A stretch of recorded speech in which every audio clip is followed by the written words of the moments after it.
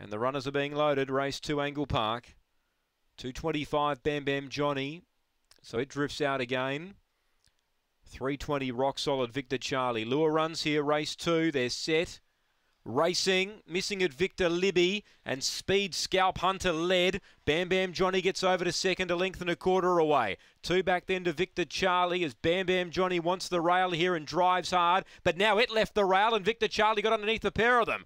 Uh, fourth placing Victor Libby and five away to Destiny Cherokee. Victor Charlie, he got away now to lead by five. Scalp Hunter ran to second, running on Victor Libby, or running off the track Bam Bam Johnny. And Victor Charlie careers away. Victor Libby charges home into second, but Victor Charlie from Victor Libby, Destiny Cherokee. Well, he was fortunate in the end. He got third. Fourth was Scalp Hunter. And Bam Bam Johnny uh, was up to some tricks tonight. Was last in 30 and 23 the time.